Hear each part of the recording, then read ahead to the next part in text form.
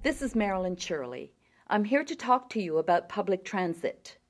The TTC is so much a part of our everyday life in Toronto that we take it for granted. But what if it just vanished one day? What would life in the city be like? And what would it cost us as individuals and as a city?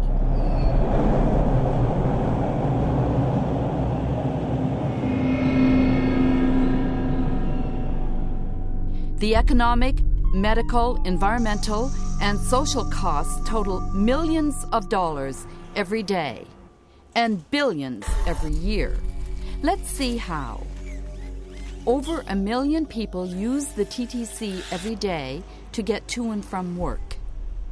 What if all these people suddenly had to find another way to get to work? An estimated 50% of riders would switch to driving. The additional time travel cost would come to about $3.5 billion annually. Where are we going to put all those new cars? Over 178,000 each day. We'd need new highways for sure. We would need the equivalent of eight new lanes on the Don Valley Parkway. The cost? Half a billion dollars just to build them, and millions every year to maintain them. Then there's parking. A parking facility large enough to accommodate the cars would stretch over three times the height of the CN Tower. Since that's unrealistic, hundreds of hectares of urban space, bigger than any park in Toronto, would have to go to parking. That's an additional long term cost of over $400 million. Jobs would be lost, and local business revenues would suffer. Congestion would skyrocket, adding millions to the cost of freight around Toronto. No transit means more pollution, adding almost $24 million to the price tag of a transit shutdown, just in the cost of emissions into our air, soil, and water. If transit was gone,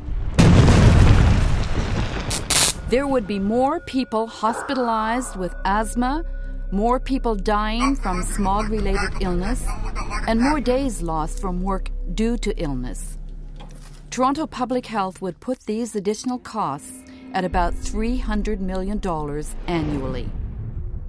More traffic means more car crashes at a cost of over $30 million annually. Cars are also expensive to maintain and operate, much more expensive than transit. The Canadian Automobile Association estimates that it costs about 50 cents per kilometre just to operate a car.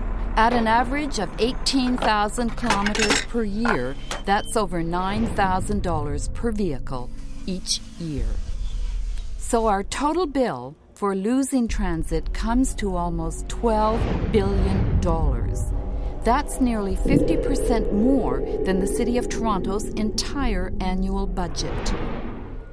We had to leave out a lot of costs because of lack of data or because they are impossible to measure, such as the loss of our urban green space. But these costs are real. So even though we have identified billions of dollars in annual cost to Toronto if the TTC disappeared, this is just the beginning.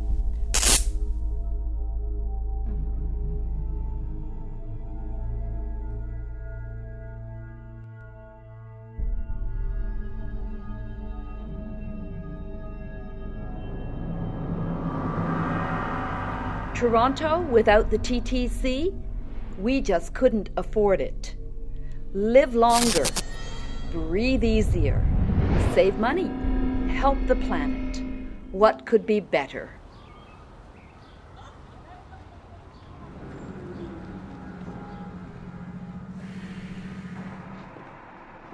Hi, this is Bob Kinnear, President of the Transit Workers Local 113. You've heard from Marilyn Churley, that the TTC is worth at least $12 billion a year to Toronto. That's a pretty dramatic fact.